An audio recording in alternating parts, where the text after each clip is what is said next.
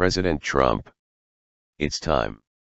It's time to make a public announcement to the American people.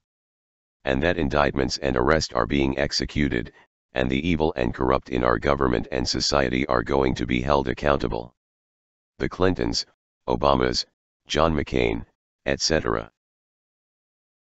It's time to take control of the executive branch of government as given you by the United States Constitution, and clean house, and expose the obvious attempt by the deep state, and coup against you and your administration.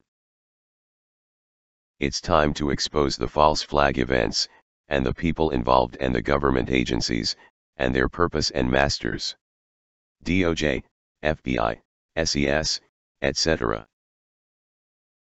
It's time for you to ask we the people who voted for you, and the Make America Great Again agenda to, clean house, and rid this government of the RINOs, like John McCain, Mitch McConnell, and Nancy Pelosi, Chuck Schumer, Maxine Waters, Adam Schiff and many others who only work for their own gain and special interests and their puppet masters.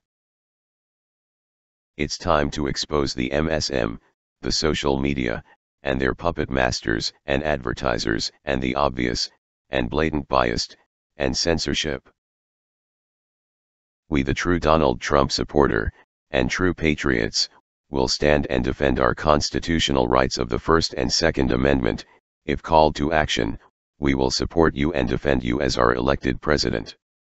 We have had enough, it's time for action.